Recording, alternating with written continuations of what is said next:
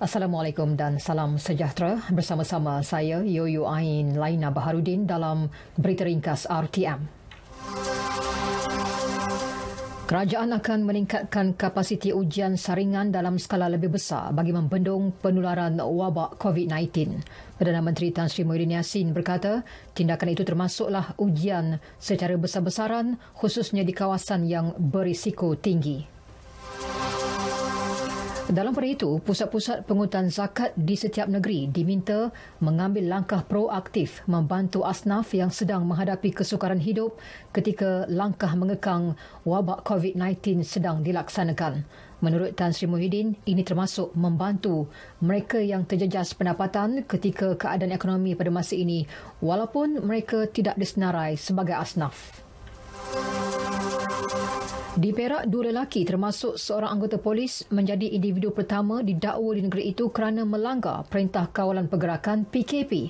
Kopral Muhammad Safaruddin alias 33 tahun dan seorang nelayan Nashrul Awang 43 tahun masing-masing didenda maksimum RM1,000 oleh Mahkamah Magistrate Seri Manjung selepas mengaku bersalah.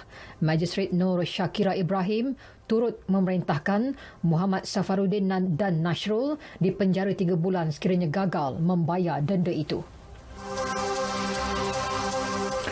Orang ramai dinasihatkan supaya lebih berhati-hati dan berwaspada dengan kegiatan penipuan dalam talian membabitkan pengeluaran caruman akaun dua kumpulan wang simpanan pekerja KWSPI Lestari.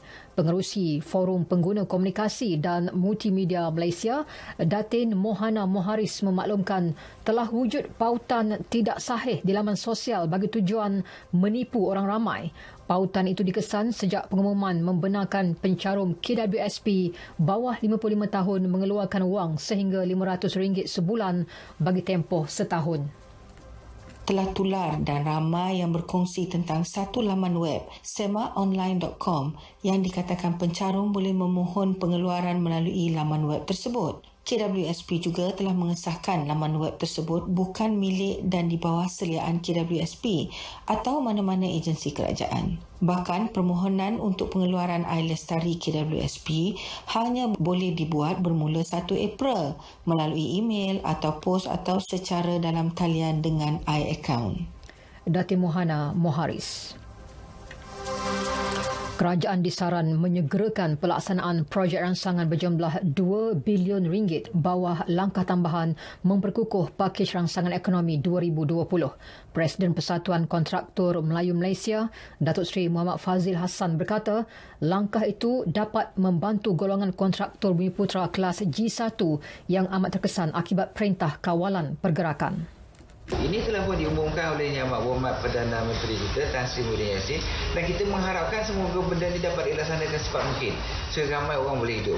Jadi itu bolehlah menyawa sikit bila dah dapat benda itu dan kita mengharapkan setelah benda itu dilaksanakan kita kaji balik projek rancangan kedua dan sebagainya. 2 bilion dah diperuntukkan dan 500 juta dah diperuntukkan untuk G1 saja. Cabut undi sampai ke 100 ribu. Ini adalah satu benda yang kita melihat boleh membantu golongan-golongan kontraktor ini. Datuk Seri Muhammad Fazil ditemui selepas menjadi tetamu program Selamat Pagi Malaysia di Angkasa Puri. Kejayaan sebilangan saintis membuktikan penggunaan dos bagi HIV AIDS dan malaria berupaya merawat pesakit dijangkiti memberi sinar baharu kepada dunia perubatan.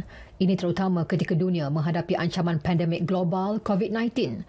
Presiden Pertubuhan Dr. Dr. Islam Malaysia, Datuk Dr. Ahmad Syukri Ismail berkata demikian ketika dihubungi RTM.